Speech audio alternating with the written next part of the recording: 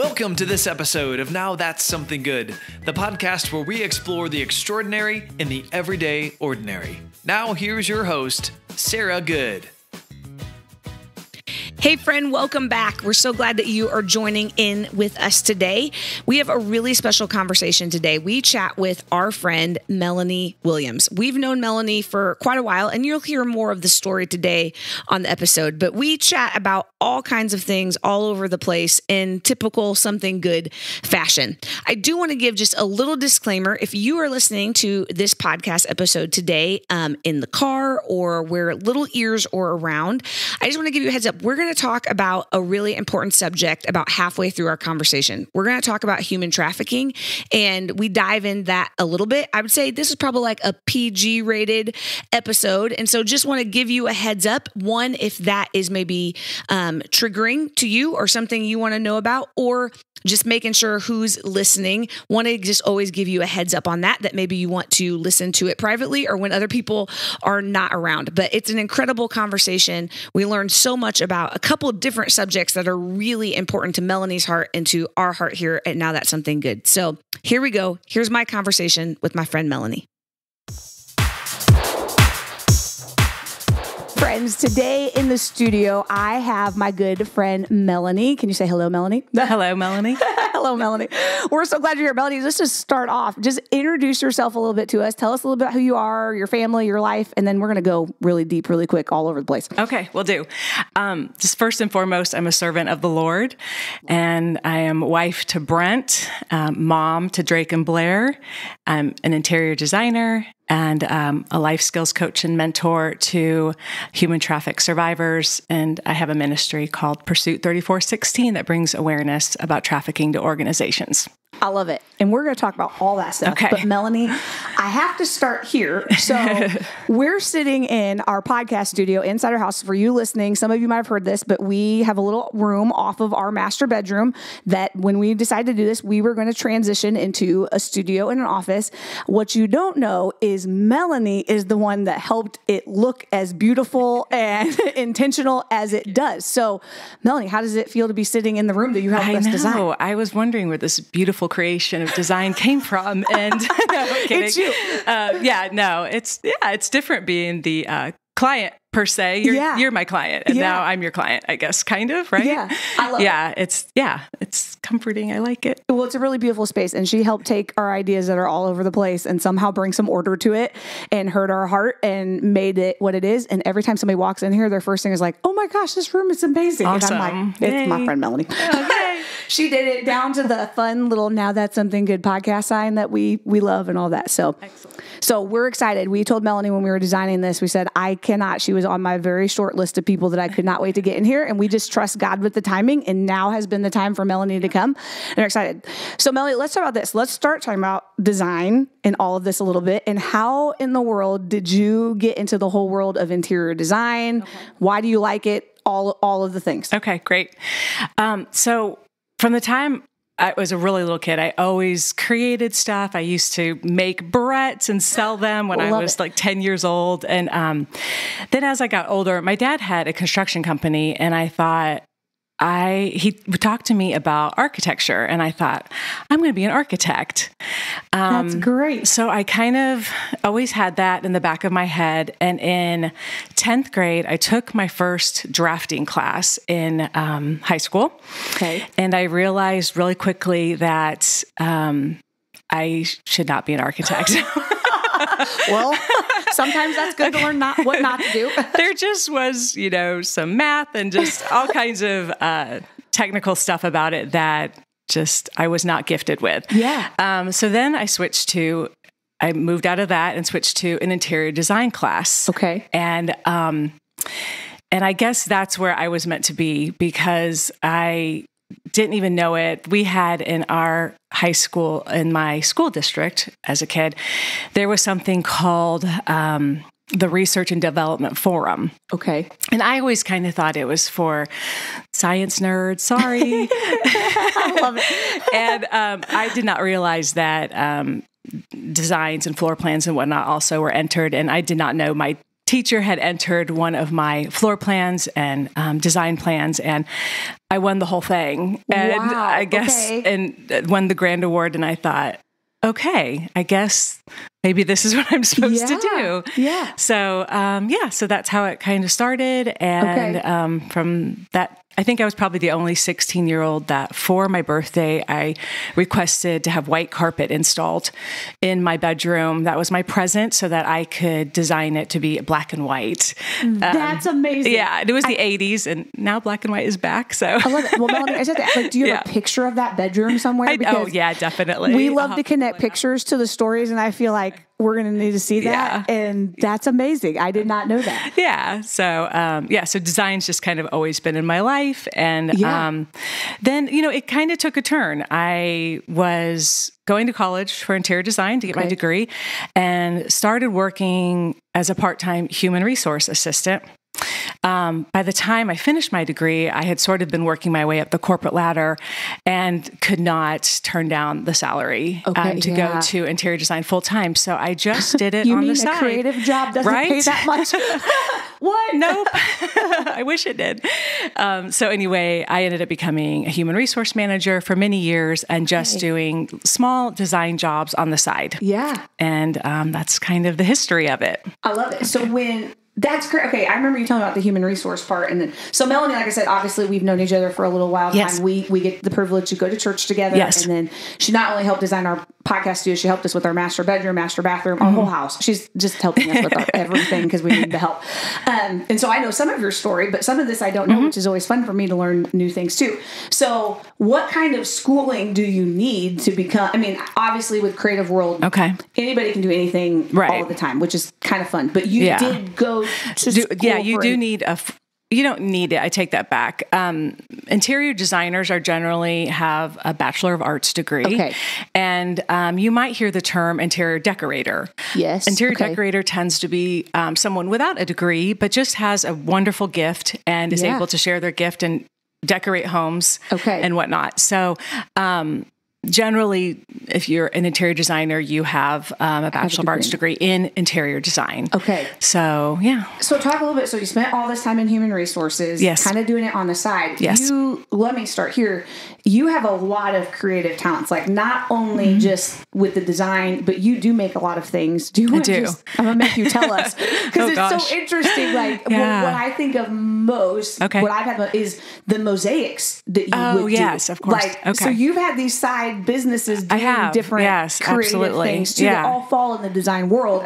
But you just Right. tell us a little bit about those? Yeah. I think it's fun. Absolutely. I just, I don't know. I can't just sit around and do nothing. Yeah. I, I have to create. And like I said, from a child, I had to create. I had to. It's just something I was drawn to. Yeah. So, um, yeah, I, for a period after I left human resources, I was able to have the opportunity to work just part time and be home with the kids. And so that's when um, I started um, a business that I literally did mosaic crosses for boutiques all over North America and Yeah. also Swarovski crystal bows for pet boutiques and children's boutiques along I with that. that. Okay. Yeah, and that was for about 10 years, but I'd still like always did, you know, these interior design jobs on the side and, Yeah. and had this business and um and yeah, so gosh, I just I love to create and Yeah. um yeah, I don't know. I love that you are so creative because I was actually just thinking today about just all creative people. Mm-hmm. And, and I believe that everybody has a creative side because God is creative Mm-hmm. Right. and Him in us comes out. Absolutely. We have no other choice. It just looks really different Yeah. for everybody. But truly creative people, like how you just have an eye, you you pull things together that's like, Mm-hmm. Yeah. I would I would never see that. Like, Yeah. and I, you know, I have decent instincts on Yeah. things, but I'm not that creative. Right. And so talk to me just for a little bit Yeah. like what you've learned about God Okay. through creativity and how he's Right. made you and how you see things. Yeah. Um, no, I'm so glad you asked because I think this is one way that all of us can glorify God, Yes. whether it be in our hobbies, our jobs, our everyday life, running Yeah. errands and running kids. But I know that these gifts are truly from Him. Mm-hmm. And you might think, oh, it's such a silly gift. How on earth can you glorify God if you are a designer or your hobby is playing the harmonica or something, Yeah, but I yeah. promise you can. And Yeah. so, um, since that's what we are here for is to glorify God, I've just have found ways to do it. And so, in my job, for instance, with interior design, um, it's it's uh, it's amazing. These gifts he does, I will say, give me these odd gifts where I can just look at something and know what it needs. Yeah. And um, so, how can I glorify him when I going through that experience? Yeah. Um, so in my job, I do it a couple ways. Uh, One way is to just serve at my church by offering my design services. Yes. And even um, putting in the labor if needed, Mm-hmm. hands on projects to see them through completion. Yeah. And then, um, so that's one way I do it. And then the other way I do it is I want to honor my clients that have committed to um, just growing and being generous with God's kingdom.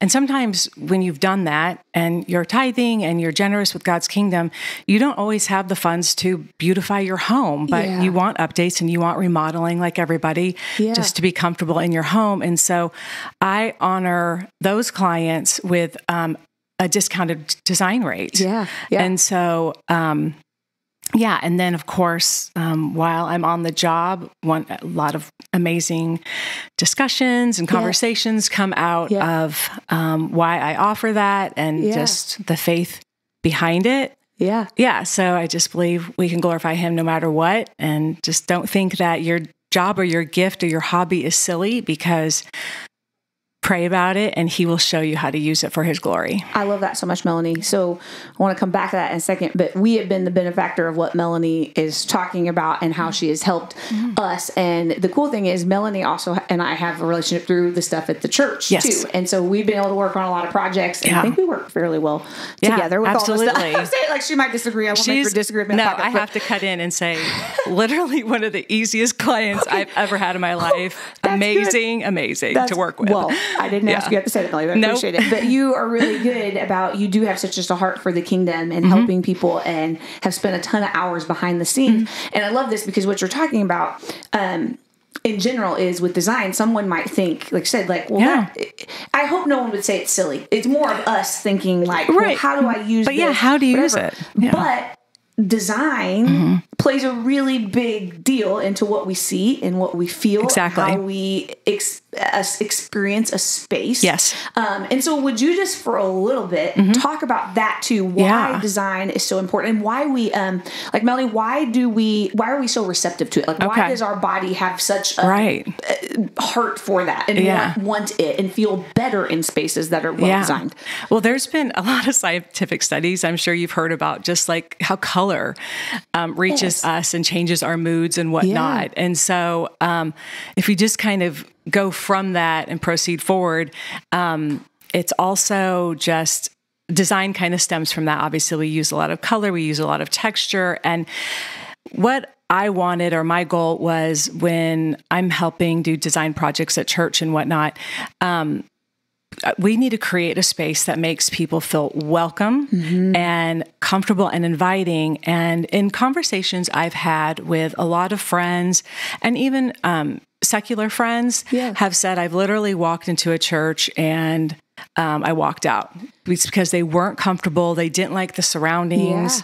Um, and so if I can help just make anyone who's just maybe testing out churches or whatnot. I we probably shouldn't say that. Mm-hmm. That's right. No, we we do. are- we all do that, People right? do You're that. you church know? shopping a little bit. We're saying shopping. that's part of it. Yeah, but if if I can help so that you walk in and you feel just a- sense of comfort Yeah. at least that will get you through the door and maybe it will get you to walk over to those worship doors and have a seat and then the rest is from the pulpit and from the Mm-hmm. Lord Yeah. but if i could help in any way shape or form to at least give you a bit of comfort Mm-hmm. um, to make you proceed into those worship doors then um, then i've done my job that's my goal so yeah. I love that. Well, that's part of the reason why Melanie I've got, gotten along so well too. Mm-hmm. Is I have a huge belief in that in every kind of space. Like it just helps you. And, Mm-hmm. does. And again, there is a spiritual part to things, and God Right. and the Holy Spirit trump all of those things. Absolutely. But it definitely can help, and we want people, whether it's coming into a church, to our home, into a ministry building, to our restaurant, wherever, to feel like they can take a breath Yes. there, and that it feels welcoming and peaceful, or Right. whatever the vibe is that you're trying to create. Yes. And design definitely does that. So, does. Melanie, I want to ask you just a couple really practical questions because Okay. people, everybody we're listening to probably Yeah. has some space that they, Yeah. an apartment, a home, some other spaces, maybe they have an Yeah. office. Like, what are some of just the really easy, practical things Okay. people can do to kind of like elevate a space? Absolutely. Um, just to make Okay. it feel like that, or how do they even decide what it needs to feel like? I guess too. Like, yeah, I mean, obviously, the first thing they should do is do some research on whether it be just social social media, Yeah. Apps, um, Pinterest, and Yeah. whatnot. Has is such Love a great Pinterest. resource. I wish I didn't, but I did. right, I know. Um, so that way, even when I'm working with a client and I'm trying to figure out what their design style is. Um, I might show them or direct them to those um, forms and ask, you know, okay, what's appealing to you? So let's. So first, they need to do that. They need Yeah. to figure out what speaks to me. What you know, what am I attracted to? Is Yeah. it modern? Is it organic? Is it farmhouse? What is it? Yeah. Um, so once you start there, then gosh, just to easily and cheaply elevate your space, paint.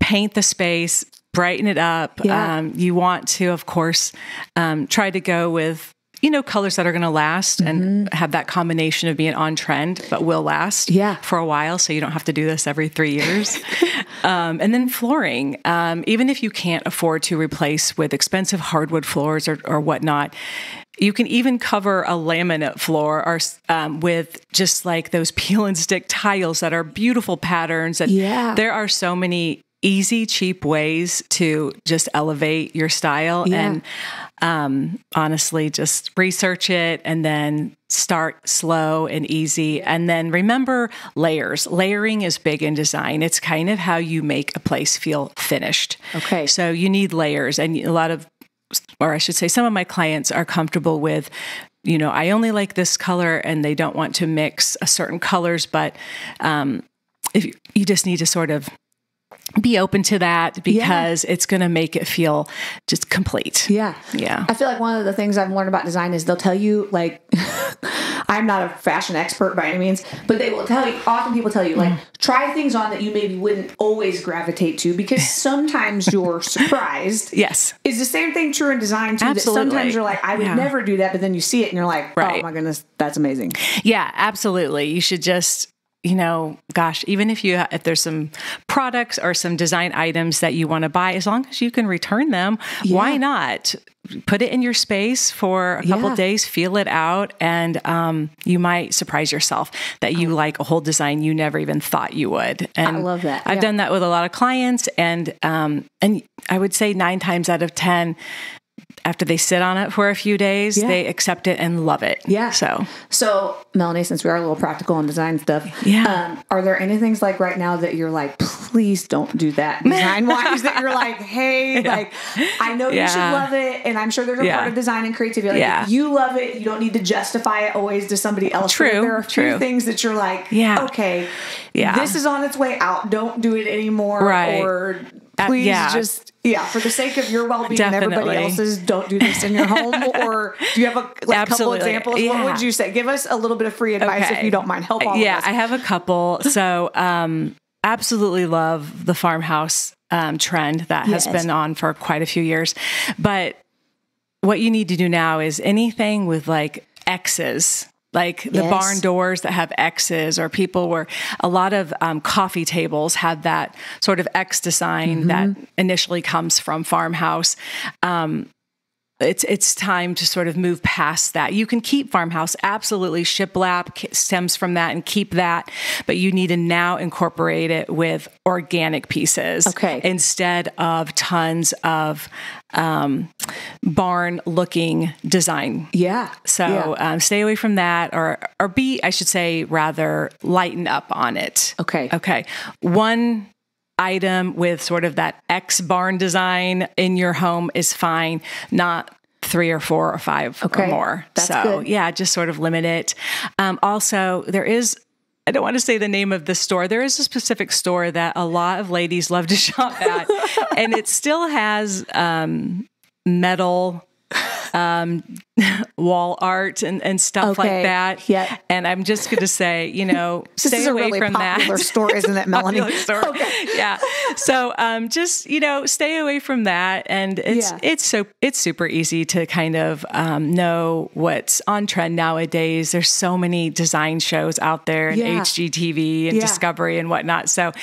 If you um, have time and can sort of watch those, you can get a really good idea Yeah. of what just isn't working anymore. Will won't So- let me watch those shows, Melanie, because he gets mad. He's I'm like, we gotta change. We wanna redo everything. house. I And he's like, Sarah, seriously, like we can only do so much. But now we have Melanie, and Yeah. she helps us, so it works Yeah, out better. She's my absolutely. design show that I. Yeah. Okay, Love so it. this is another just frivolous question Okay. that has nothing to Yeah. do, but it's important. Like, it's Yeah. important. So, okay, color, paint color. I love that Okay. you said paint because, like, many Yeah, people say, like, it's one one. of the easiest things. And mm-hmm. yes, it's a big deal to paint, but like, Yeah. it really doesn't take that much time, all things considered, and it can be repainted. So if you can put a color on the wall and you're Yes. like, "Ooh, I hate it," you can redo it. Right. It's fairly inexpensive. Right. So, but we've been going through this whole like grays and all Right. that, but now Okay. it's kind of shifting It is. again. It is. And some of the neutrals are coming back. They are. Mm-hmm. But I have a phobia to like all the creams and tans Yeah. from like Oh, 15, 20 here. years ago when it was. Right. So like, Yeah. can you just talk about that for a minute, Melly? Like, Oh, so goodness. what, when we're saying neutrals, one, what does that really mean? Because I think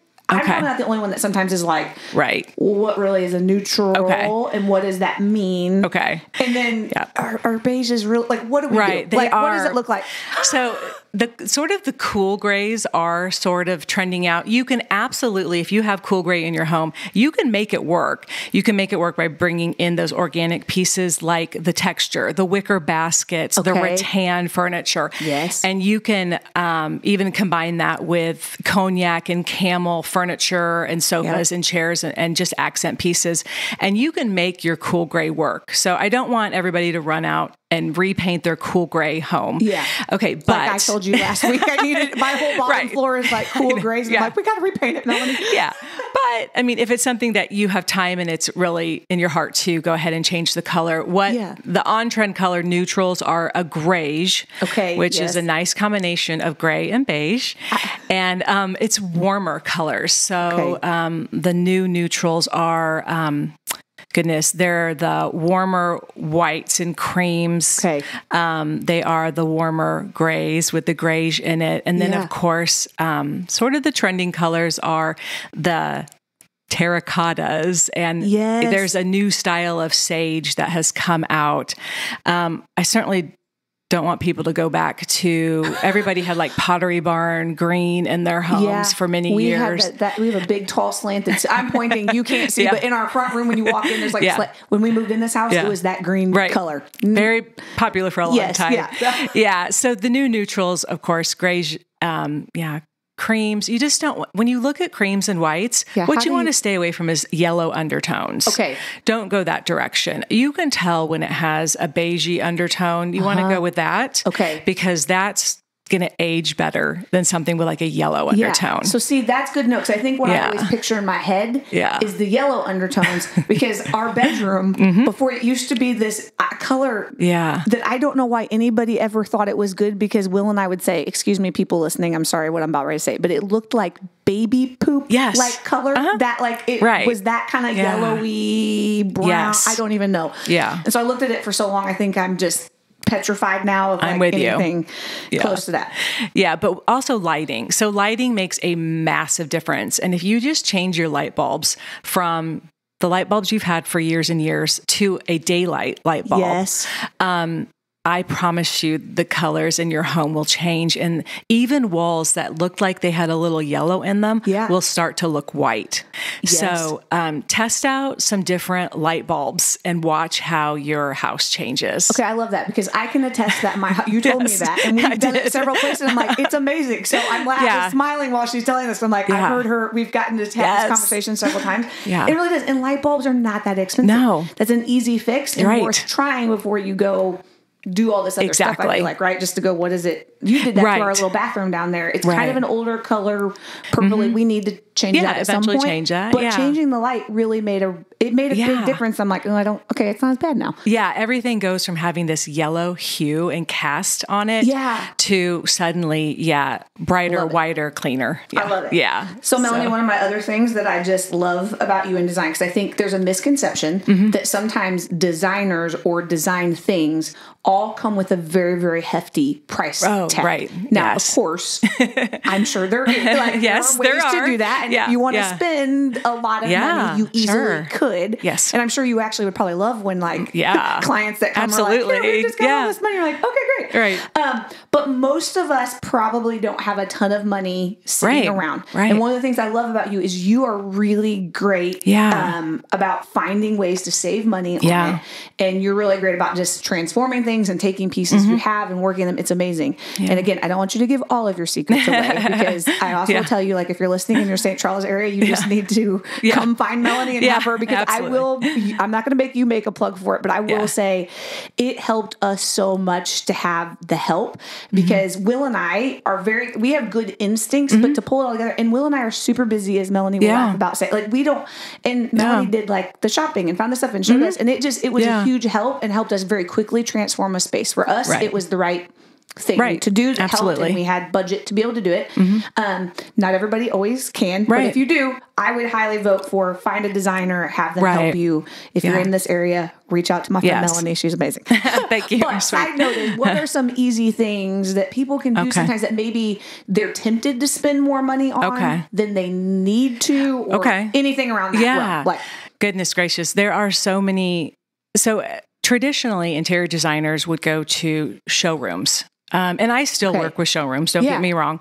Um, however, nowadays, because of the internet and because of big box stores and whatnot, you can literally find um, um, excuse me, dupes, basically is what we yeah. call them. So at showrooms, um, I'll take a client in, and most of the furniture is $9,000 couches, $15,000 coffee tables, and Yeah. it's insane. But you can almost always find a dupe of some sort Yeah. online. So, of course, um, I'm just I won't promote the names. I'll just Yeah, say, you know, do your research. I'll do. I'll, I will give one tip that um, is really simple. Um, so go to your search bar on the internet Mm-hmm. and go ahead and put in specifically what you're looking for. So let's say you want modern organic side chair. Type that in and then hit the shopping tab yes and then a load of that style of chair will pop up and it will have of course the link and the options to purchase it so um, definitely need to read reviews when you're Yes. buying online Okay. and hopefully you want to make sure that there's a return policy Yes. but you literally can go from the $9,000 couch that is beautiful and fantastic at the showroom to a $1,500 dupe um, just from doing a little bit of computer work. Yeah. Yeah. I love that. Are there any things, and just clarify, because I think sometimes people hear dupes and they think Okay. it's all cheap. That's Oh, not no. necessarily, yeah. Absolutely can you just not. dispel Yeah. that I myth a little bit for people? Because I think that's part of it, like, 100%. Oh, it's not going to last, Yeah. you know, Yeah. as long or whatever. So dupe obviously is short for duplicate. Yeah. And so what we're doing is trying to find a similar item looks ex, you know as close as possible to the item that you absolutely love Yeah. but is less expensive. And could you get a cheap not well constructed item 100% that's where reviews come into play and i will give everybody a tip on reviews nowadays um, even on amazon and whatnot tips Yeah. are either paid or um, product is exchanged and Mhm. whatnot. So just look for truth in the review. When Yeah. people are saying very personal items like, you know, my husband fell down while he was putting up my ladder and you know, then you can kind of get a feel for the truthful Uh-huh. reviews versus the sort of just statement reviews. Yeah. Once you weed out weed out the reviews, um, then really read into those reviews and that's where you're going to find out if the product is good. So the couch was sturdy, it was comfortable, the pillows did not flatten. Um, You're looking just for people sharing their real life experiences, and that will make you more comfortable to purchase online. And it, it sort of confirms that um, this item, for instance, that you may be saving ten thousand dollars on because you're getting you're trying to find this dupe, then um, you're suddenly affirmed that Yeah. um, it's good quality, and um, I don't have to pay nine ten thousand dollars for it. Yeah. So- I love that. Well, Yeah. you've helped us with a lot of things in our house, and it's so far it's all uh, holding up. It's Okay, been great. We awesome. Read reviews, Yay. we're all Yes, good. And, okay, yeah. And I love it. And it's like if you don't have to spend the money all the time, why, or you can invest it in somewhere else, like right, your other part of your budget. It's like, right. well, or just, I'm sure deciding what's most important. A hundred you. percent. You know, bathrooms and kitchens are very expensive. Yeah. So if you just want to make some quick updates to your living room and your bedroom and whatnot, um, do it the easy way. Do some research and what, and then um, invest that money in countertops and Yes. cabinets and Yes. um, vessel tubs and beautiful walk-in showers. Yeah. yeah. yeah. We're saying that from experience because some of that's in my house right now. I love it. Right. Yeah. I love it. Okay, I have one more design question, then we're going to make a hard shift to Awesome. something else. Okay. Um, can we just talk about wallpaper, Melanie? Ah. Like, so that's another thing I feel like people are like, it's all back in, which is It cool, and they make really pretty patterns. But like, what do we do? Is that do you Okay. recommend wallpaper? No, yes. Like, what? What do people I do? do. Help us I out. goodness, I love wallpaper. It just I, I just love it. Okay. So the new wallpaper obviously is the peel and stick, and everybody Yes. will see that at the big box stores. And um, so if you feel like you can manage that skill, it's it's not difficult. It can be tedious getting everything lined up and equal and level. Yeah. But once you sort of conquer that part of it, then it's sort of easy peasy and you can finish the job and um, you have like a beautiful, and I hate to say statement wall because statement walls aren't really a thing anymore. Um, so I, love will it. say you just have um, a beautiful visual. Yeah. Um, so I highly recommend it. I do recommend the peel and stick because I do you have experience being in design Yeah. for 30 years, um, removing the wallpaper that used to be glued to walls. I think that's why everybody cringes. Like everybody has to have a story of like pulling it Yeah. off or the little board. Like Yeah. you used to do the borders Yeah. around or the little. Absolutely. None of us want to go back there. No, it is so much work to, and I, I will say this. So if it depends on the home and whatnot that I'm designing. Yeah. And some homes just just call for the expensive traditional wallpaper that a professional glues down. Yeah. Um, and you just have to love it to know it's going to be there for a while. Yeah. So absolutely sometimes a situation calls for that. Okay. But I would say for the most part, you can get away if you can find the pattern and the colors that you love Yeah. with the peel and stick rolls that are everywhere nowadays. I love it. Yeah. Well, thank you for answering my burning Yeah. question about wallpaper. I know everybody listening had the Yes. same question and wanted to know. No. Good. Good. Well, Melanie, so all of this stuff I know interweaves with your whole story, all the Yeah. because you can't really separate yourself from it, which I love. Yeah. Um, but you have a really other part of your story Mm-hmm. and your passions and where God has gifted you that you get to work on. You said it on the front end, Mm-hmm. um, but you get to do a lot of work where you mentor Mm-hmm. and help and teach and educate um, in the world of human trafficking. yes. And so, why don't you start here? Can you just tell us? Start with what human trafficking kind of is, and then we'll jump. I want to hear why, how you got into it, and then we'll pigeonhole all over the place. Yeah, sounds good. So, um, human trafficking is an umbrella term for two types of trafficking sex trafficking and labor trafficking. And I'll give the quick and easy definition so you all remember it. Sex trafficking is when a person is obtained for through fraud, coercion, and manipulation for sex acts. Okay. Then labor trafficking is when a person is obtained to be used for forced labor. Mm-hmm. And an example with that would be a migrant farm worker who is forced to work outside all day in the heat, mm-hmm. making little or no money simply to pick our fruits and vegetables that we mm-hmm. eat. So, Yeah. that's one example, though there are many. And we're going to go back and talk all about that because I think both of those two types are really important to talk Yes. about and have some education on. Yeah. But Melanie, tell us like how did you get Yeah. involved in this work? Like, why, crazy. why are you spending a lot? You spend a lot of your time and heart, and God. Mm-hmm. really laid it. I mean, it's a part of who you are. There's no Yeah. separating it out from Right. what you talk about. But like, how how did that Yeah. happen? It was, it's purely from the Lord. Um, About eight years ago, I was, I think I was watching a documentary and I was learning about human trafficking. And it just blew my mind. And um, at the same time, a couple crazy things happened. I had, I started having a, a literal physical pull in my chest. And it was, it was pulling me that I, I have to help. I don't know how, I don't know what I'm going to do, but I had to. It just, it just was inside me, literally pulling me in that direction. And during that time, um, mysteriously, all kinds of stuff started coming across my desk. Yeah. I got, I got real mail on trafficking. I got emails on trafficking. I got, I found it on social media. It just, there's no explanation. It just is something that the Lord needed me in. And so he put that in me.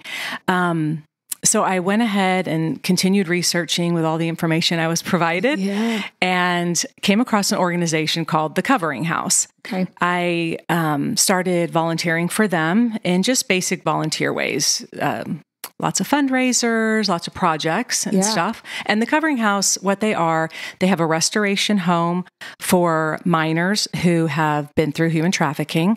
And then they also have community based services where for adults and for people who do not live in the restoration home, they offer services to free them from trafficking as well. Um, so I was just doing volunteer work for a, a year or two, and then the, that poll came back, and I heard the Lord say, um, "I gave you a lot of gifts, and you need to pool them together and help the kids." So that's what I did. Love that. No, yeah. Yeah, I just I pulled together all my life experiences and my whether it be from work and jobs and whatnot in life, and created a curriculum um, for the Covering House. I eventually then started um, teaching life skills, and my main goal is to help them acclimate back to society in a God honoring way. Yeah. That's the hope. Um, then I eventually became a mentor as well for girls that have graduated from the program and live locally. Okay. Yeah. So once a week, I am either at the house doing life skills or I'm with a mentee mentoring them. Okay. I love that. Yeah. Um, and the covering house is local here to is it is it, is anywhere local. else or is it just a local like they have no, other it's- branches? They do not. It is Okay. just local. Um, I the, the office is in St. Louis, Missouri. Okay. Uh, obviously, we don't say where the restoration Yes, home yeah, is. yeah. Um, yeah, but so they were just they were the main organization that I work with, and then there are various other ministries and whatnot that Yeah. I help with as needed. Yeah. So I want to tell all of you guys listening, we're going to, Melanie's going to share some more things here and we're going to talk about it. We are going to list a lot of this stuff in the show notes so that you can find resources. And so some of the things that Melanie's going to talk about, um, she might quickly say or might just say, we'll put it in the show notes and we'll make sure to have a lot of different resources for people. But Melanie, this is a really hard subject. Yes. And it gets talked about in a lot of different, sometimes it's not talked about enough. In the last couple years, it has seemed to surface even more Yes. in the news and all kinds of things. And there's a lot of misinformation Yes. too about some of it. Could you just again, I know you explained this, but just give us some overarching information about just whatever you want to share about. Yeah. Um, I believe the reason it's become more and more publicly aware is because it's a $150 billion industry. It is the second most profitable industry in the world, which is disgusting. Yes, absolutely. And um, America is guilty of that as well. They offer at least 35 billion, and America is the number one um, user of child pornography, which is trafficking. These children are trafficked. yeah. So, um, unfortunately, that's why we, we're hearing about it so much. Mm-hmm. Then the misconceptions. Um, many years people saw the movie Taken with Liam Neeson, Yes. and it immediately put in everybody's head that this only happened in other countries and people were kidnapped and stolen. And does that happen? Absolutely, but it is a minimal percentage. Okay. Um, as for America, the number one way that teens are getting trafficked is through online social media manipulation. Yeah. So they are literally um, a pimp will befriend them, act like they are their age, possibly become Mm-hmm. their best friend, become their boyfriend or girlfriend through never meeting them, and then they Yeah. build trust, and then Yeah. they from that way forward they groom them, and then eventually meet and start trafficking them. Another misconception is that you are um, chained to a bed in a house or, or whatnot. No, a lot of these um, people, kids and people that are in this, have freedoms, but they are so manipulated and um, and unfortunately so beat down from their their pimps and their what they think is their boyfriends and girlfriends and whatnot that um, they just do what they say. And I have experienced um, a girl that I've worked with. She was trafficked right in her home while her parents were at work. So this 100% um, you can still go to school every day as a teenager and then be trafficked at night or on weekends um, any form of someone that is manipulating you coercing you into sex acts is trafficking Okay. so there's a couple misconceptions Yeah, no, that's good. And I know that this is a really heavy subject, Yes. and oftentimes we either want to lean in and hear more, or we just kind of want to put our hands over our ears and go. Yeah. I know it happens, but I don't know what to do. And so I think it's a really important conversation. Part of the reason my heart for wanting you to come in because you you have such a great way of talking about it. Um, and so let me come back a little bit. Um, you said that it is very very prevalent here in America. Yes. and I feel like one of the misconceptions, like you said, is we don't believe it's here. And the conversation you've had, and Melanie shares a lot of resources. She's been teaching courses. We're going to come back to your ministry that you're starting out Mm-hmm. Okay. of this um, to to bring awareness and education. Right. Is that is what you said that it's affects everywhere and it's it's It all the time. all- Everywhere, like Right. it's you're not exempt from it, and you probably it's probably closer to all Right. of us than we think, which is Right. scary to think about. Right. Mm-hmm. Um, but it's true. And part of how we help the problem is educate ourselves and bring Yes. awareness. So, can you just talk a little bit again? Our heart in sharing all this is not to scare anybody, Right. But to have wisdom and be aware and know what to look for so that you can help your people closest to you and help other people. But can you talk a little bit about when you say it is closer by? Can you either just share some stories or some other things that just Yeah, help people really realize how serious this is? Okay, we'll do. Um, so I will. I do want to just start out with one way you all can help is pray. Just Yes. pray for um, the freedom from this enslavement, and pray for the Lord to open your eyes so that you can start to watch and and possibly help others. And um, I'll provide some tips to um, the podcast that will offer different different tips that you can help and different things you can watch for. Um, Yeah. I won't list them all because there are a lot. Yeah. Um, so I just kind of want to start out that way. So if you guys have an opportunity to look and um, read over those tips, it would it would truly be helpful. Yeah. Um, but how what it looks like in America or what it looks like in your city, it is closer than you think. Um, one, I'll make one statement, and then and it's it's kind of sad, but if you have ever seen pornography, Mm-hmm. ever come across it, even a glimpse of it, Yeah. then you have witnessed um, a trafficked person. Yeah. So um, pornography is full of trafficked people. Yeah. So I just kind of want to put that out there. But then back to our cities and whatnot. The girls that I mentor um, are all local and they're either in Missouri um, or some surrounding states Yeah. Iowa, Kansas, Indiana. Okay. Um, so just know that these are just everyday young teenagers that were manipulated through a relationship, what Yeah. they thought was a relationship, or again, online on a, an app or social media. Yeah.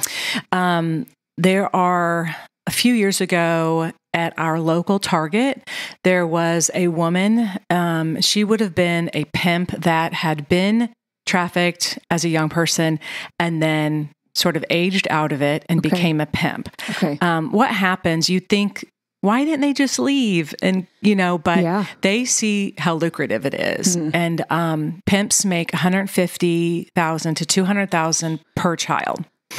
A year. So they see the the lucrative. It's also been the only life they know. Yeah. And they become a pimp themselves. And so a few years ago there was a woman who again would have been a pimp and she was recruiting girls at Target. And she was doing this. This is another very common way. So, not just on social media, but also through job offers. So, she would talk to, start talking to young girls and tell them, you know, how pretty they were and Yeah. how she works with modeling contracts. And um, that is also a very popular way to get it, um, Yeah. to get sort of swooped up into this mess. Okay. Um, so, we definitely want to watch out for that. Um, I always, I'll just give another tip since Yeah, a lot of us do. run Yeah. so many errands and are at Yeah. the big stores constantly picking up stuff and grocery shopping. Just keep your eyes open. And I mentioned earlier, just pray for that so that you can truly see it. I know we are looking at our lists and we're busy, but um, look around. And if you see people without, carts or maybe they just have two items in their cart but they keep perusing the aisles they are looking they're probably looking for Yeah. kids or, or vulnerable looking people to recruit Yeah. into this and they're going to do it with all kinds of wonderful um, opportunity offers of jobs and modeling and acting and all kinds of stuff like that Yeah. So let me start he- here because there's two sides Okay. of a question Yes. you. So what you're talking about, what do we do Mm-hmm. if we see, okay, so they're Okay. par- partly, Yeah. well, what else should we be looking for on a, a bigger scale? If we think somebody is a pimp or Okay. somebody is potentially trafficked and there's just a situation and our spidey senses kind of go off and you're like, something's not right right here what things would we be looking for for that and then if we see it like if we notice somebody asks right us or somebody close to us or we hear like no she's asking talking about this modeling job is there Right. anything that we should do one? Absolutely, and yes. what is it Okay. like help us with just that That is so good. Um, they the general um, direction is not to get involved. Okay. So if if your first act is to call 911, that's fine. Okay. You can call 911 and you can just say exactly what you saw. yeah Um, I believe there could be a trafficking situation going on. I'm at this store, yeah give the address, Yeah. and then give a description of the two people involved. okay Um, I'm over, you know, you could say I'm aware of things to look for, and this sounds like this could be a trafficking situation. Yeah. Please get someone out here right away. okay So that would be the quick and easy. Yeah. Um, and also, um, if you all have your cell phone next to you, if you could just pull it out right now and put in the human trafficking hotline, I know they'll probably put it on their website. Yes, as well. yeah, yeah. But um, it's 1 888 373 7888. So that is, you know, it's anonymous. If you don't have to give your information, you just need to give the information that you are witnessing yeah um, and as much as possible. So look for characteristics, you know, obviously the place you're at. Mm-hmm. If you're at a gas station and you see people actually start to get into a car, get the license plate, get the make and model Okay. of the car. And again, as many characteristics of the people as possible. Yeah. Man, woman, age, facial hair, tattoos, clothes. Yeah. All of that. Okay. Um, that's the best thing you can do is give as many details as possible and then turn it to the authorities Yeah. and let them go um, do their job. Okay, that's Mm-hmm. great. What other things, Melanie, when we're, should we, what things should cause us to be a little like, eh, I don't know if that's right. Like, are there just other, few other things that seem to be fairly common that we can just be a little more on the radar for that we're like, Absolutely. okay, that might be not right. Yeah. So, one thing is, I'm sure all of us have been approached by someone asking for money, or um, Yes. sometimes uh, women alone, women that are alone, sometimes they have a kid with them. Yeah. Um, they are often trafficked women that a pimp is with is within um, a close distance from Okay. them, and they're watching them and they're making them. They haven't possibly made their money quota for the day, and so they're making them now just go out and just ask for money. Okay. Okay. Um, so what most of us chuck up to, oh, they are vagrants or homeless Yeah. or whatnot. Um, not necessarily. Okay. Um, I would say, you know, use common sense. Obviously, if it's an older gentleman, um, Yeah. he's not being trafficked. But if it's um, a young woman and possibly a, a woman with a child or a teen, um, then there's a good chance they're from a trafficking situation. Okay. And um, I sort of, this is tough.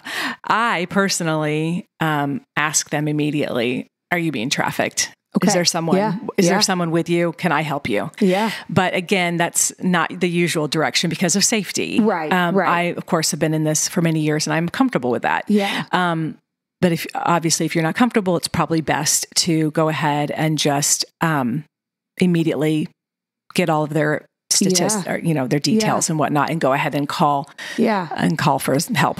Are there Yeah. situations, Melanie? Because I know I've seen um, like A21 is Yes. a big. Mhm. They are in Christine Australia. all their- Yeah, and they'll put out video. I mean, all kinds of things trying Right. to help people know. Right. um, even if they're girls or boys who are Right. being trafficked, some things that they could do to help somebody else know, like this situation. Are Right. there other or any of those things? I, I'm not pulling. It's not coming to mind. The most okay. recent thing I saw that I was like, huh, Yeah. that's really a thing. Um, that if we're at a mall or you're somewhere else, that Right. like if we Yeah, I mean, honestly, the most part, I guess, the most common thing to look for is Yeah. just people that are again at these stores or maybe they're hanging around um, a school like a block from a high school Yeah. or something and, Yeah. and you see someone and it can be men or women Yeah. Mm-hmm. um, pimp pimps look like everybody they don't have a specific look to them they are all ages Okay. and they look like regular people Yeah. um, but the clues that um, they're not just going for a leisurely walk, they have their eyes on the students walking out of the Yeah. school. They are not continuing with their walk. They Yeah. are sort of pacing and looking, and they're trying to find someone to recruit. Yeah. So, again, back to that store, um, they're not really shopping for groceries.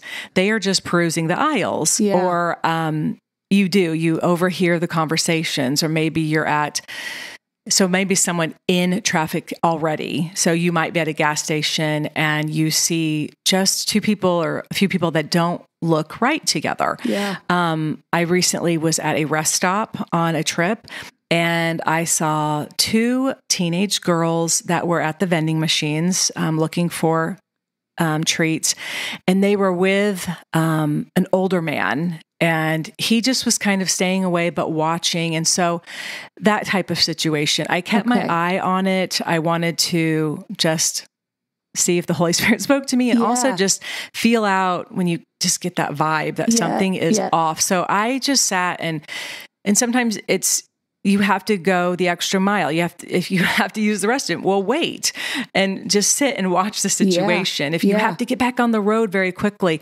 no, saving a life is more important. Yeah, Be 10 yeah. minutes late for your destination Yeah. and sit and watch the situation. So I sat and watched, and um, at first I felt like it was very suspicious. And then after a, a solid 10 minutes watching, then other people come out of the car and the other interactions that took place, I was now comfortable Okay. that it was not a trafficking situation. Yeah. But it could have just, it could have been the other way. Yeah. And if it was, I would have done what I've recommended on here. I would have immediately called human trafficking hotline Yeah. or 911 and to get some help in. Yeah. Well, I think it's just important, like we said, just just to be aware and to know what to look for. And part of and, and the hope would be hopefully we never have to necessarily do those things. And I, I don't want everybody like being paranoid. Now you're looking for everything and you're calling the hotline every other day. I mean, like find the balance, right? Like of- of it. absolutely. But Yeah. trusting, and I think it's like Yeah. it goes back to what you said. Just pray Yeah. that there would be Absolutely. You know, that God would. He does that, and that usually we all know. We've all can think of probably a situation where we've just been like something's not right, Right, In any that. realm of things, and just going, Absolutely. hey, maybe listen into that just an extra step, Right. and figure out what you can do. Yeah, and also Yeah. one more thing to watch for. Um, so if you do see two people that you just are getting that uncomfortable feeling that they don't look right, um, also watch for clothes. Are they in non the not proper season clothes? Are they wearing winter clothes in the summer, summer clothes in the winter? Do they have bruises on them anywhere? Okay. Do they look malnourished? Um, do they possibly have a branding tattoo on them, which look like barcodes? Okay. and or say daddy's such and such Yeah. those are some of the branding tattoos so you can look for actual physical signs yeah. um, and you can also sort of tell if they are not making eye contact with anybody Yeah. that they look submissive to this person that they're with and um, they're scared you see fear in their eyes Yep. um, so um, again listen to that intuition and review kind of their physical traits and what's going on Yeah. and see if you can find any markers That's great. So, Millie, I want to switch just a little bit. And, you know, a lot of us have, you know, you know, my Yeah, family. I have four kids in my home. absolutely. Three. Well, let me let me have you dispel this myth. Okay. There is a myth that I think sometimes people think it's only girls. that No, are- oh, can no. you just for a second Yeah, speak to that so that we just clear that up a little bit? Absolutely. So, uh, are teenage girls more common? They are, yes. But there was boys are absolutely um, trafficked. So, in other countries, in in more of the third world countries and whatnot, it is a situation where um, they might be s- sold from their family because the family thinks that they are getting a better life and people are adopting them and giving Yeah. them schooling, but really they're not Yeah. um, they're putting them in an orphanage and i'm doing air quotes right now um, but it's not it, it's literally um, literally pickings for traffic Yeah. customers to come in and Yeah. traffic them um, so in other countries it kind of looks like that it also looks like um, you know people are just desperate and poor and will do anything for to eat Mm-hmm. and um, or they're taken from their families Yeah. um, runaways. So in America, boys are trafficked more through runaway. Okay. So if you run away from home, um, within one out of seven kids is approached by a trafficker within 48 hours. wow. So, um, and when you are, you know, d- desperate to eat and you're given all these promises and whatnot, that's sort of how Yeah. it starts Yeah. unfortunately. Um, so that's the number one part, probably in America, Okay. way boys are recruited. And then they are, are, of course, recruited the exact same ways girls are. Yeah. Um, getting manipulated online, Mm-hmm. um, promises of money and wealth and um, jobs and whatnot. Yeah. And then, um, of course, um, what else did I want to say? I guess that's probably those. Probably Okay, no, those are probably top two. Yeah. yeah. Well, Melanie, what what can we do? So, like, like I said, I've got kids in my home. Okay. A lot of our listeners are either um, younger themselves, and not that there's necessarily an age thing, but they Yeah. fall in a category somewhere between 18 and 25, Okay. probably. Okay. Mm-hmm. Or their parents and have children themselves, Okay. or aunts and uncles. We probably most people listening, you probably all have somebody in your spirit. Right. But like, what do we need to know? And again, to operate with awareness, not Mm-hmm. Out of a spirit of fear. Correct. Yeah. because I don't want people like I know all this can be really triggering. I don't want people to be right. like, I have to be so afraid, and I can't Yeah. let my kids do anything. I can never. I mean, we got to find the balance, and You everybody's going to know that for their own family themselves. Right. Um, but what do we need to know to help be a little extra safeguarding Mm-hmm. Yeah. our, our kids? Okay. Um, start there. How, what, Okay, what, sure. what should we know? What are some top things that we Yeah. just need to help think- know? I mean, number one, you do need to monitor their social media. Mm-hmm. And um, you, as their parent, and they, as a minor, have absolute control over that. Yeah. And um, there needs to be safeguards. Yeah. And and be careful because sometimes the safeguards don't work. Mm-hmm. So I recommend um, just a quick visual review Yeah. of, and what's really important is their conversations Mm-hmm. because a trafficker is going to go through a, a messaging system Yep, of some yep. sort, and whether it be Snapchat or or the TikTok, but it's also Mm-hmm. it's always going to be sort of the messaging section of the app. Okay. And that's where you need to look. Um, Yeah. And look back at these conversations and um, make sure they're appropriate because um, they might look appropriate and it might look like your kid is talking to a little 15 year old boy and oh, how cute. Um, but that's not the case. Yeah. So, um, number one, monitor their um, their phones and, Yeah. and computers and whatnot. Um, Gosh, there's so many. Number two, make them aware. Like you all as a family have to decide what age is best. Yeah. And um, once you are comfortable with that, I mean, you can even start giving tips from a very young age um, or starting with a very young age Mm-hmm. um, safety tips. And then as they get older, you can incorporate um, more details Yeah. so that they are more aware. Yeah. Um, these teenagers, they need to know that this is how you're manipulated. Yeah. That don't be fooled by someone saying they're a kid. And Don't be fooled that they have uh, 50 of the same friends in common as you do. Yes. Because that's that is the easiest thing in the world for a trafficker to get past. They just friend a million people Yeah. and then all half of them say yes and then boom it looks like you have Yeah. 50 to 100 friends in common and you as a teenager think they're safe. Yeah. And that's that's really common among teenagers. They always say, "Well, we had 100 friends in common." Yes. So, um, be really leery of that. Yeah. Can you Yeah. pause just there for a moment? Yeah. How? What's other good language or ways we share with our kids? Because you know it's a hard line, and, Yeah. and everybody's got a different relationship with their kids. And Right. Mm-hmm. even in my three girls, or the, the 2 that are old enough and that have a little more phone privileges because Right. of their age, um, the conversation's even very different between their personalities and what Right. they want to do. And we have to say a lot of those things are just going, hey, just because there's 50 friends, one of our things we talk about, and you can tell me if it's right or not, is I don't want you having any friends on social media if you have never met them. If In you have never seen them yeah. in person and you know Yeah. exactly who they are, Yeah. you don't need to have them as a part of your social media at this age. And I know not everybody listening might agree with what Right. that stance, but for us and for Will and I, that's part of what we said as a family. Right. But can you give some other, just for us as parents or aunts and uncles Mm-hmm. or grandparents, language to help that that kids might hear better or to talk Okay. about just how do we talk about the safety part? How do we make it? Hey, we're not trying to restrict you for restriction's Right, sake. right. We're trying to do it because we need you to know this is Yeah. serious and and, and Right. they can get to you very very Right. easily and they will pose and hide on all kinds of things in a lot of different ways. Yeah. I think um, what's most important is kind of your what you guys do with your kids. Yeah. Um, a hundred percent, everybody. That should be the rule for a minor. If you have not met them in person, they should not be a friend, and you should have all private accounts. Mm-hmm. Yeah. I am truly shocked at how many kids have public accounts.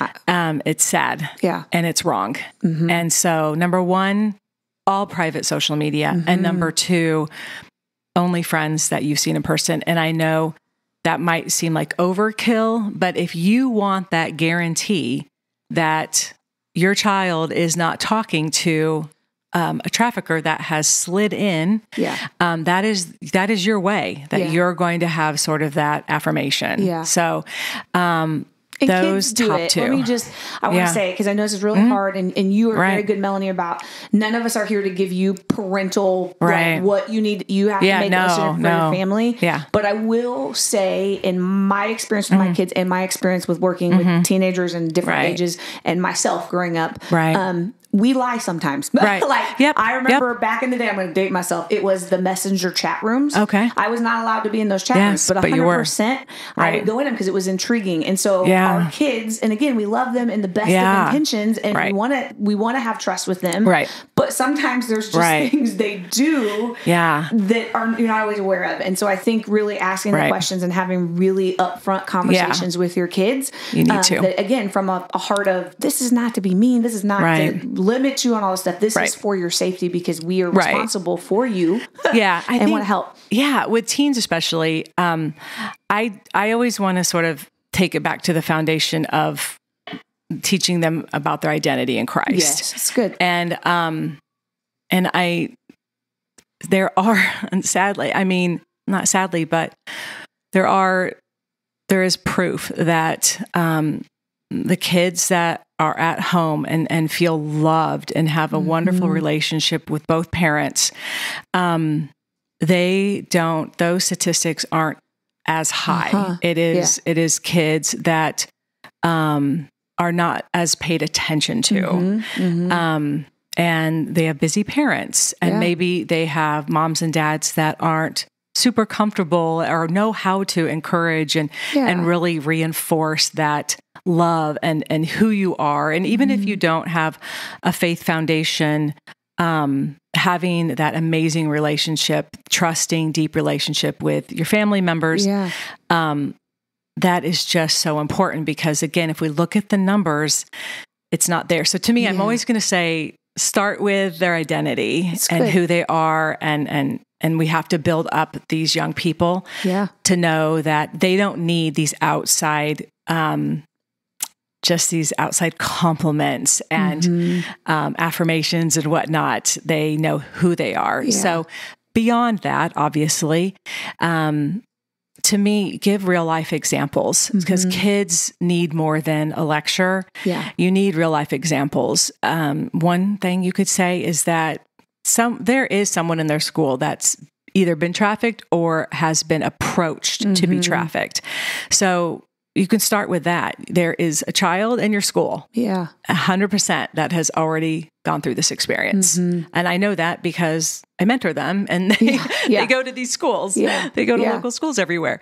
Um, so you could start with, I think they just need tangible proof Mhm. because you keep throwing out numbers and stats. They're kind of like, eh. Yeah. And it kind of goes in one ear and out the other. Right. So proof. And as for language and vocabulary to use, um, again, based on their age and the, how comfortable the family members are, Yeah. I think being as honest as possible so that they know what sex trafficking looks like and Yeah. if they were to be recruited into this, what their day would look like. Mhm. Um, and so I'll again offer some information on your site Yeah. and for you all to look over, but um, the day, your day wouldn't look pretty. Okay. Um, yeah. the, unfortunately, you know, kids are used sexually up to 30 times a day. Wow. So, um, yeah, I think tangible real life experiences and and some proof so that they can really believe it. Yeah. No, that's Yeah. good, Melanie. Okay. And again, I know it's such a hard subject, but it's one that I feel like does need to be Mm-hmm. talked about. I've learned a lot from you, even just on some stuff you've said. Some things. Sometimes I'm like, hmm, we need to go back and re Yeah. think that through with our, Yeah. our kids. And again, I just want to keep saying because I feel like it's so important. It's not out of the spirit of No. fear, but it's just Just man, truth. Be wise and how Yeah. and can, how can we help? So. Melanie, I know you will share with us more resources. Yes. I want you to talk for just a minute because the time always goes by way too fast in all these shows. Yeah, it's easy. Um, it is. It is. um, tell us a little bit about what God has been doing lately and what Mm. Yeah. the ministry you said it's pursuit. Okay, it's Tell called, us what's called. Yeah, Pursuit 3416. And Love the it. reason we named it that was because we are pursuing Ezekiel 3416. Okay, And which is- Ezekiel 3416 is um, we will search for the we will search for the lost and bring back the strays. We will bind up the injured and strengthen the weak, but the sleek and the strong we will destroy. We will shepherd the flock with justice. Love that. And that's just kind of like what we're all about. Yeah. And so our hope is to go into schools, organizations, medical offices, everywhere, Yeah. and just bring more and more awareness so that Mm-hmm. we can stop this before it becomes trafficking. Mm-hmm. We can make everybody aware. And also, we will train people on what to look for and how they can help um, maybe a niece or a neighbor that Yeah. they're seeing the signs that we've taught them in our class. Yeah. Um, so it's not just for people or parents with kids. This is for everybody. Every Mm-hmm. single one of us can help. We just have to learn what to look for. Yeah. And so our awareness class will teach what to look for, and they will be different based on if we're at a school Mm-hmm. or if we are at an organization, a doctor's office, etc. And it's it's new. Um, we just became official last week. Our articles of incorporation I love it. are in, and Yeah. so we can proceed forward with um, setting the rest of it up and getting the training going. That's great. Well, we'll make sure to link any and everything, and we can update this too as we go Yes, along. absolutely. to put it on there. And so, if you are an educator or you fit in one of those categories Right. that Melanie was talking about, reach out and Yes. see how this really important ministry can come alongside and help because prevention and awareness is is huge. Yes. Um, so, Melanie, for people listening right now who are like, I, I want, i I, They're feeling that pull that you had. I want to Mm-hmm. Yeah. help. Yeah. I want to do something. Um, maybe I have time to give. Maybe I have financial resources to give. Can you just tell us real quick, and we'll Yeah. link all of it in the show notes. But Yeah. how, what's a few things we could do right now to get more involved? Absolutely. So I always give the easiest thing you can do is go on online and literally do a search that says the name of your town. So let's just say Mm-hmm. Yeah. Ballwin, Missouri. Yeah. You know, um, Human Trafficking Organizations, Ballwin, Missouri. Okay. And it can be use keywords organizations, charities, ministries. Yeah. And then I promise you, um, loads will come up. And you and if you're not seeing come up for a specific town, obviously go to the large town, St. Louis, Missouri, for Yeah. instance, Kansas Yeah. City, Missouri, Las Vegas, Nevada, et cetera. Yeah. Go to the largest city near you Okay. and put that in. And there are loads of um, ministries and, and organizations trying to help with this. And it's not enough, though, as you can see. Yeah. Still second Yeah. busiest, you know, most profitable bu- business in the world. Yeah. So we need as many ambassadors as possible Yeah. to stop this. Yeah. Yeah. So that's that's just the easy one, and and I promise from that research. You will have so much that you have to sift through and Yeah. decide. So um, start there. If you have specific questions, you are welcome to email me. Okay. It's pursuit3416 at gmail.com. Perfect. Yeah. And we'll link all that so people can find it. Please do, because like I said, when you feel that pull and tug, Yes. this is a great way for us to kind of wrap up the conversation, Melanie, because um, we talk about that often here on the podcast. And something Will and I are super passionate about is God has put inside of us all passions, pullings, all the stuff, Yeah. Mm-hmm. and lean into that. And that can look like anything. How it looks for you is different how it looks for Yes. me. And God needs all of every one of us. He's given us unique gifts and abilities. We all need to use it for His glory and Mm-hmm. Right. for the kingdom and to help share good things and Yes. great things as we can. Yeah. Um, can you just give any final encouragement to somebody who's Yeah. struggling with, hey, I'm not sure what I'm really gifted at, or I'm not Mm-hmm. Right. sure how to use that. Can you just Yeah. share a little more encouragement? goodness someone? um i just i do want to encourage you all that if god can take an ordinary mom like me and show me how to live this out he can absolutely do it for all of us. So beyond prayer um just uh, literally think about those simple gifts. And a couple examples what if you are a mom and you think you are just running kids all day and you don't have gifts. Well, were you a cheerleader as a teenager? Maybe you can teach cheer and some subtle tumbling to kids in need. Yeah. Um, are you do you know how to play the guitar? Maybe you can go entertain at retirement homes and just organizations that need talent um, in order for their fundraisers. yeah. Um, I promise every single tool you have in your box can be used. If you are a expert organizer, then by all means contact some charities and some ministries and just tell them that they don't have time to organize their donation closets. They don't have time to organize their offices. Yeah. Go offer to do that for them. Yeah. And you're a human. You can clean. Help to clean. I promise any tool you have can be used to glorify God and help an organization. I love it. And you can attest from your organizations you work with. I can attest Mm-hmm. Yeah. from the ones I've worked with. Yeah. There's no nonprofit ministry organization right, now twiddling their thumbs and going, No. we have more workers than we could possibly Right. use. We have more resources. We have more. Right. They all have a need. So find something that you're passionate about and Absolutely. and figure out how you can get involved. Um, Yes. And God's going to use that big to not only be a blessing to Yeah. that ministry, but the crazy thing is, Yeah. God often uses it to bless us more and grow us and Absolutely. use it. And Yes. It's, it's amazing. So For sure. well, Melanie, um, is there anything we didn't talk about that you do that you want to say or want to talk about that I- we didn't hit? Goodness, I think we covered it all. I, um, love it. Gosh, there's so much. Okay, to well, it. The, Yeah. The last thing we ask everybody, and I always say like there's no qualifier, but because the Okay. show's called Now That's Something Good, Yeah. tell us one more. You've already shared so many good things, but Yeah. share one more good thing Yeah. Um, just going on in your world or product or okay. I don't, it can be anything. Some people like it doesn't even need to be spiritual. Like no, it can be whatever you want. Okay.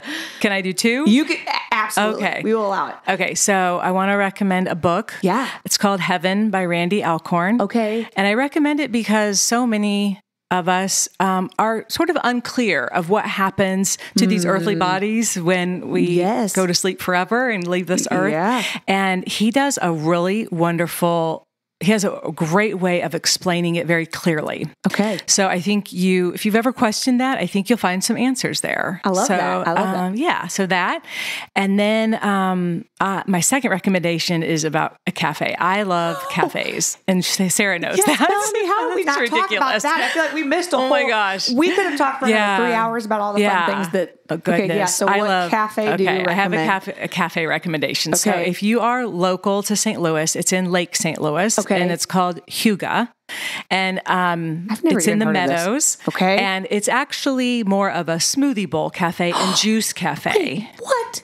I do not know It- that. Are you serious right now? Love it. It- The decor is awesome. The vibe is awesome, Oh. and the smoothie bowls are awesome. I'm going as soon as we hit stop on Yes. this episode. So yeah. So uh, I don't work there, but No, I enjoy their bowls a lot, and I just want everybody to go enjoy them as much as I do. so what do you get there? Is what I need to know. I get um I get a smoothie bowl and and so you start with like a fruit base and then I Yeah. add protein and you can add a couple items so you can add all kinds of fruit you know Yeah. um, chia seeds and all kinds of coconut great stuff that you want to make it Love like it. a yummy bowl but i know that there is a ton of juices and i know um, juicing is important to a bunch Yes, of people yeah. nowadays and so they also offer um, i think a huge selection of juices i have not tried Okay. that yet but i can attest that if you get one of their smoothie bowls you will be happy I love it. Well, I'm really going to try that out. And that's really dangerous that you just told me that because thankfully there's not been a place like that super close to I because I have an addiction to things like that. Me too. And when it's quick, it's ridiculous. Okay, so I do have to ask more quick because Yes. there's a whole part of Mel, like Melanie is a world traveler, and I'm not. We could do a oh. whole Oh. other podcast episode about all your world travel. Yeah. So just, well, you can tell me a story Okay. that, but let me just do it this way. So Okay. you're you've been to Nashville a lot. Like, let's just hit a couple. Can you hit Okay. a couple other cities Okay. that maybe I don't know where everybody that listens from. There are a lot of people that are local to Yeah. our area, but then there's people all over. Yeah. Um, I know we have some friends in Colorado Okay. that listen. Um, but tell me like what's one or two of your favorite Nashville places, and then just Oh. hit off a couple other because of the cafe vibe. Like, where are your favorite ones in America? I am.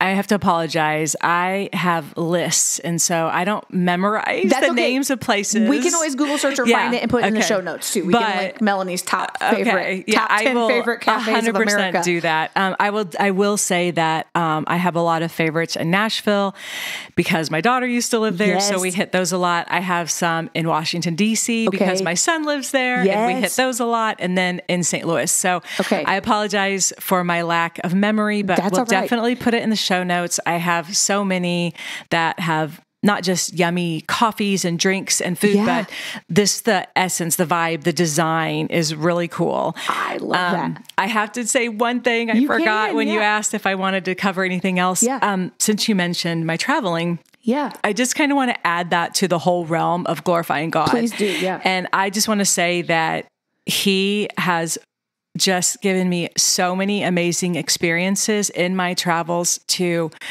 I I won't go into the stories. I will just say that from uh, meeting a Muslim and an atheist on a Mm. plane and having the most amazing discussion and and, and time with them to um, a lovely store clerk in Santorini, Greece, and talking Mm. to her about faith and um, all of these and and uh, beautiful elderly gentlemen in DC and Starbucks. I mean, there's just so many experiences. So I just want to say that, like again, you can glorify Him in all ways, and Yeah. if you pray over it, He will.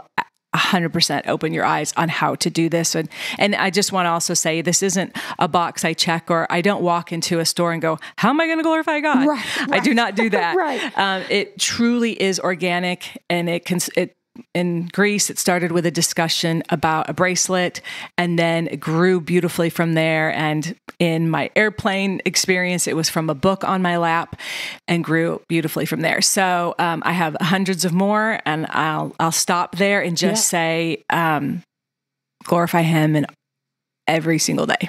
I Yeah. love it. Yeah. Well, we'll just have to bring you back on because there's a whole lot of stuff that we Yeah. didn't even like the whole traveling thing Yeah, and maybe some of the fashion things. Yeah, I love that we'll have to come back and talk about it. But Melanie, Okay. thank you so much for being here today. thank you. Appreciate it. Thank you. Thank you so much for joining in with us today. Make sure to head over to the show notes to check out links to find Melanie's recommendations of some top spots to go around the country to visit. And then we share some more links that are around human trafficking and awareness so that you can get more involved or do further research or just figure out how you can get involved. We really appreciate you listening in. As always, you taking the time to go review the podcast episode or to really just share it with a friend that might benefit um, or be be encouraged today is a huge blessing to us here at Now That's Something Good. So we hope you have a great week and that you'll join us back here next week for a brand new episode of the show. Go out and share a little something good with someone around you today.